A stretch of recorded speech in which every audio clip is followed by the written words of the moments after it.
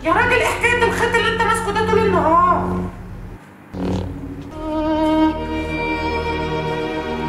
السلام عليكم. ازيك يا باشا؟ ازيك يا ماما؟ إيه الدخلة دي؟ عامل لي فيها فندان يا ابن الموكوسه استغفر الله العظيم يا رب هنبتدي بقى. مالك يا ماما في إيه؟ انت مش بطلت تهبدي فيا؟ ده جزيتي اني رجعت قبل الفطار عشان افطر معاكم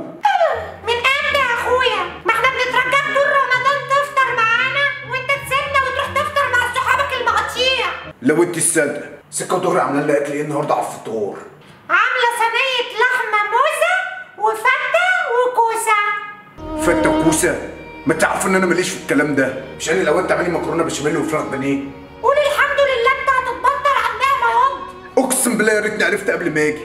إنت ليه بتحطيني في الموقف ده؟ مين دلوقتي يرضى يفطر معايا قبل الفطار بساعة؟ أو مين المحل يرضى يطلع لي أوردر أكل قبل الفطور؟ ألو؟ شادي أنا بيتقبض عليا انت مين يالا ألو. لا بس حلو النيو لوك ده الشنب ده حقيقي ولا قص ولزق وليك عيد تتريقي ما تقول لها حاجة يا باشا سيبني ركز يا فندي دلوقتي عشان أنا بدور على طرف الخيط. إيه البيت ده يا رب؟ يعني أضرب نفسي طلقتين عشان تحسوا بيا؟ أقسم بالله تمام. أنا هعرف أتصرف كويس. مش بدل ما يحفظوا قرآن في رمضان؟ ولا انت رأيك إيه يا راجل؟ سيبيني أركز دلوقتي يا ولية عشان أنا بدور على طرف الخيط. ثقة في الله يا عبد الحماد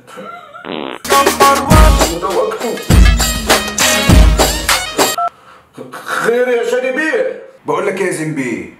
قول بس بسرعة عشان الوقت مش مناسب. أنا امي حطتني قدام الامر الواقع. طلعت قبل الفطار بساعة لقيتها عاملة لي فتة وكوسه وانت عارف ان أنا اقسم بالله ماليش في الكلام ده. وليه في مكرونة بشاميل يا باشا؟ يا أخي طب اهدى هنلاقي حل. أنا مش ههدى ولا أفكر عارف ليه؟ عشان انت عمرك ما هتحس بالنار اللي جواك. ثقة في الله هناكل في عربية جديدة فاتحها واحد صاحبي بيسترزق منها. هكلمه دلوقتي ونروح نفطر هناك. لا مؤاخذة يعني في الكلمة. صاحبك ده موثوق فيها يا باشا ولا تبعت لي بطاقه تكشف عليه بدل ما ناكل لحم كلاب. بإذن الله رقم واحد. ما تصغرناش بقى يا شادي بيه. انزل دلوقتي بس عشان نلحق. حصل يا زنبي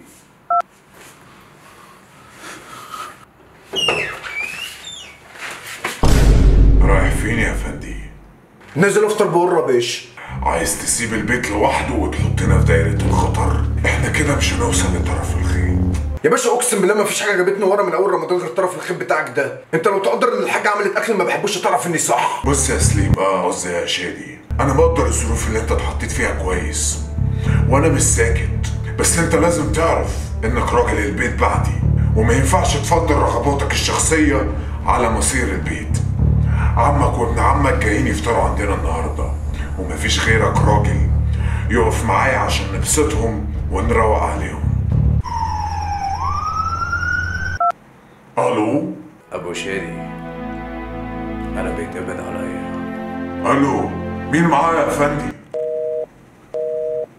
يا باشا قص. بلا أصل بلا فصل. نفذ الأوامر يا فندي والا هضطر آخد معاك إجراء قانوني ممكن يعلم عليك. وأنا لسه جايب حزام جديد لسه ما جربتوش في التلطيش قبل كده.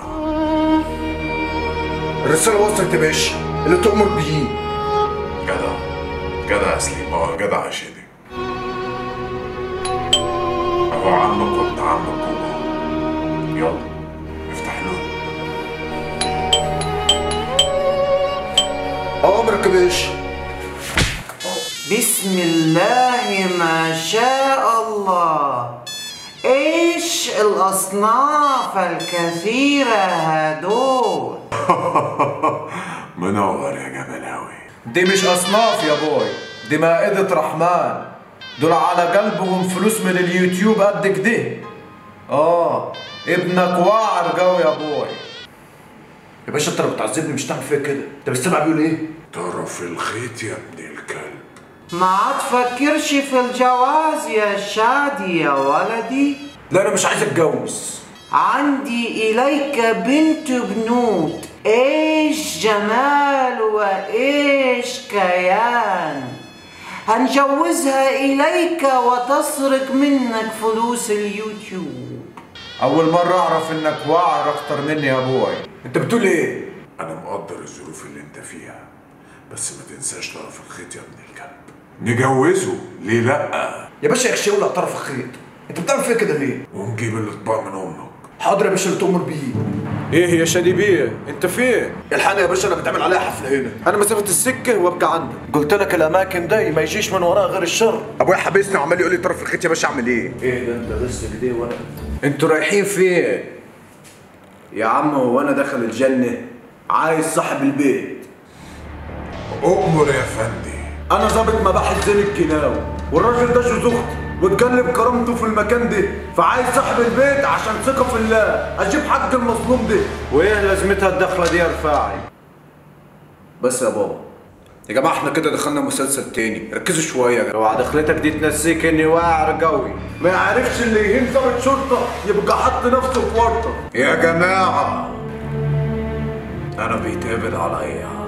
من هذا ومن سوف يقبض عليه؟ معلش أصل الولاد كلهم طلعوا ظباط في رمضان السنة دي إلا هو يا عيني فلازم طبعا يتقبض عليه. اوعى القبض عليك يا رحيم ينسيك إني واعر قوي.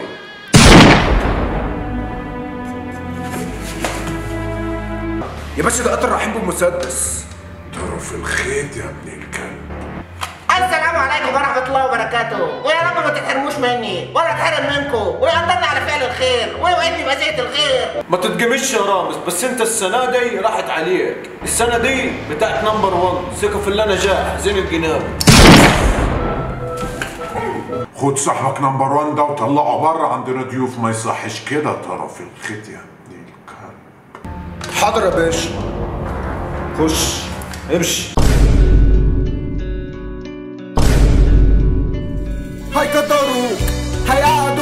هيقعدوك وياكلوك وسوا يجوزوك خليك دايما واعر كله عشان الخيوط. اسمع أبوك هينوك هيدوك وكمان هيشغلوك بس انت ما تنساش كله عشان الخيوط. انت كويس يا ابني؟ تلاقيش يا باشا أنا كويس. شد الانصاري بسبعة ارواح اصحى لكلام عاشر الانصاري إبراهيم الأبيض هو اللي بسبع ارواح